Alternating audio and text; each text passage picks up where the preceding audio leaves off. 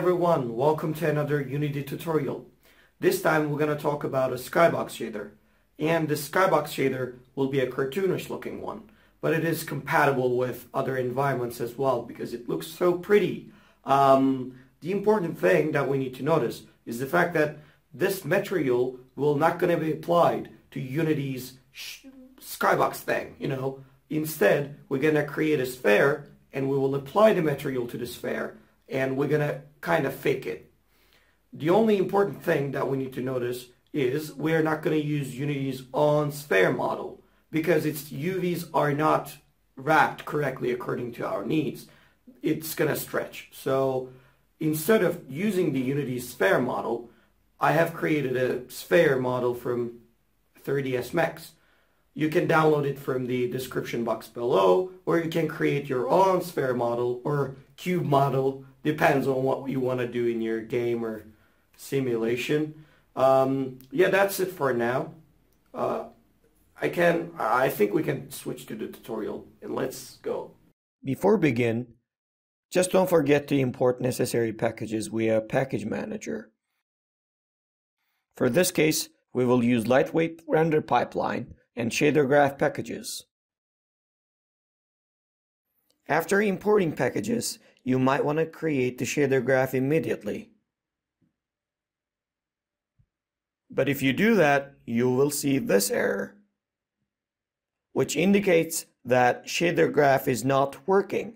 But don't worry, it is normal, because we haven't changed current render pipeline, and currently Unity is using still the legacy render pipeline. For this, we need to create a lightweight render pipeline asset, then assign it to settings.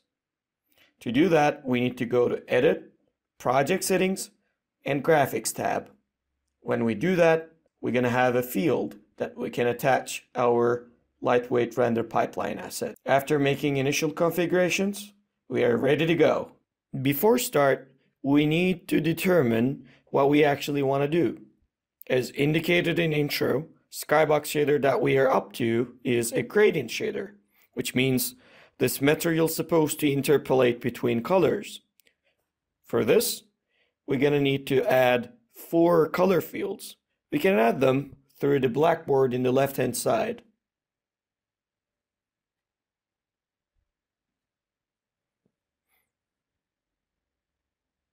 After adding those items, we need to drag them to use it. Then, we need to add a lerp node to have a nice grading between dark and light colors, or vice versa. Usually, sky that we have outside start from a color and changes into another one. For this, we need to access UV data of our mesh to display different mixture ratio of colors according to the height because it happens as the same way in outside Skydome. For this, we need to add a UV node.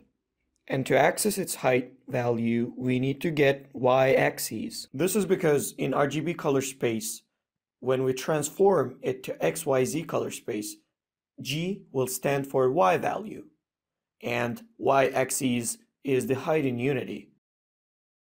So we need to use the Y-axis, which means we need to use the G value.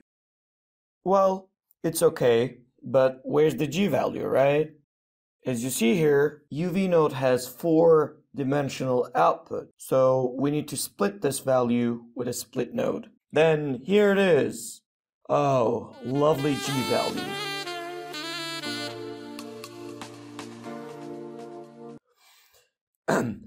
we need to connect this output to lerp node's T input, which is responsible from interpolation ratio. Or we can say color mixing ratio as well.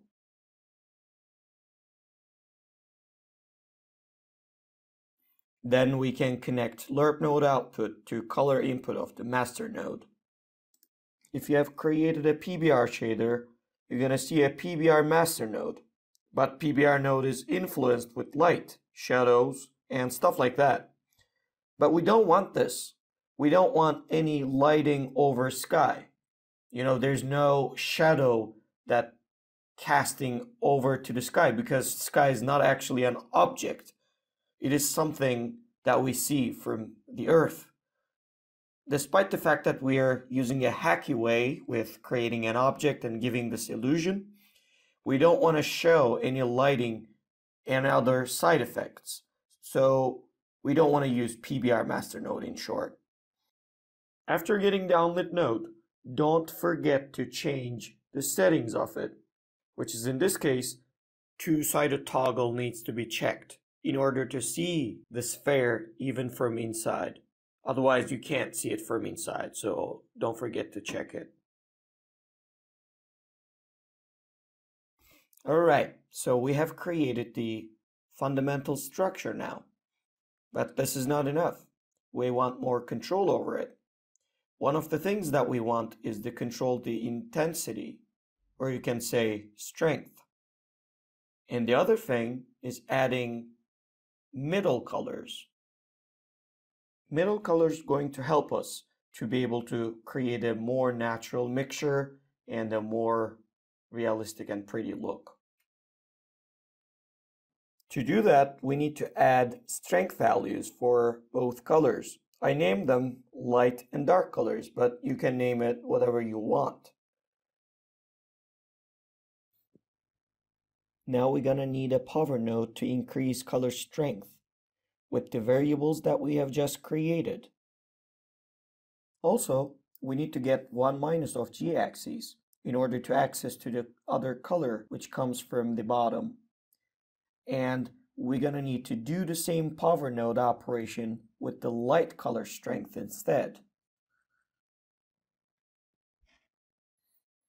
Now we're going to need to lerp again with new edge color properties that we have created. And we will define lerping amount with those power node outputs as follows. For dark edge, and for light edge, we're gonna need two additional lerp in the end. Here we go. We can change intensity as follows now. It's only a matter of your color palette now to decide what you want to do. A night or some kind of ocean, a beach, whatever you want. It's only up to you to decide which color you're going to use but I'd like to share what colors I used in my intro, which if you like them, you can use those colors in your skies.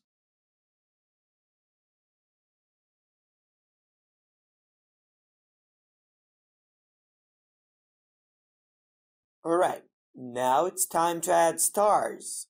We need to add a vector1 variable called star bending. And we're going to change its type to slider. Then we're going to set its default value to 0.3. Next thing that we're going to do is we're going to add a boolean value named as enable stars in order to control whether stars are open or not. Now we can jump back to nodes again.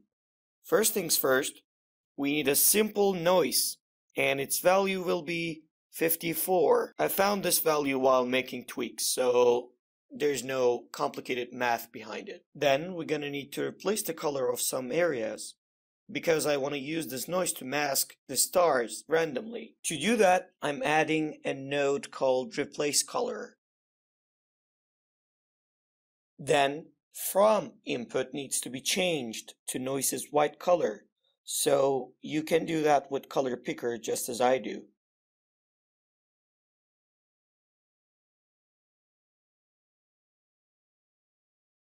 Okay, now we need to do is add a tiling and offset node to control the tiling.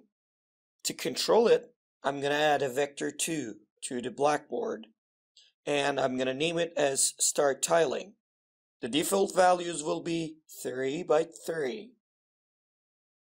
To move the stars, we need to access to the time node. Then I created local vector 1 as a multiplication value. Although I don't want to offset the y-axis, so I create a vector2 node, and I'm only assigning x value to, to time.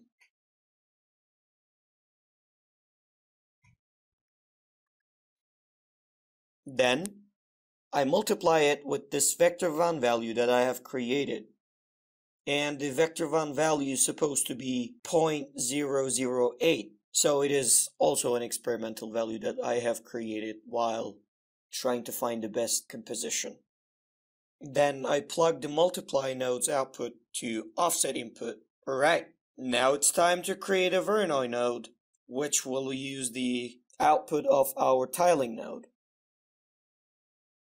And I set angle offset of the Voronoi node to 4 and cell density to 32. Then we're gonna need a blend node for masking Voronoi. Base input supposed to be connected to replace color and blend supposed to be connected to Voronoi. I set the blend mode to lighten because I'm gonna invert the colors in a moment. But before that, I set the opacity to 1.5. Now it's time to add a minimum node, and I will add a vector 1 to control it. So this value will be our threshold, and which is in this case, it will be 0.25. Next, I'm adding a 1 minus to kind of invert it. Then I replace colors of it in order to get these stars which we have masked. Don't forget, in this node, from color should be as follows. In order to remove that gray color which we see. Then range value will be 0.24. You can leave the fuzziness as 0 for now. Good. Now we can blend our stars with actual skybox. We will achieve it with a lerp node. We're gonna get the skybox output to A input and the star is gonna be go to B input. Then we're gonna drag the star's bending value and connect it to T, which the T is controlling the blending ratio in this case. Alright. Now we need a blending node in order to have the control of blending with this toggle that we have created earlier.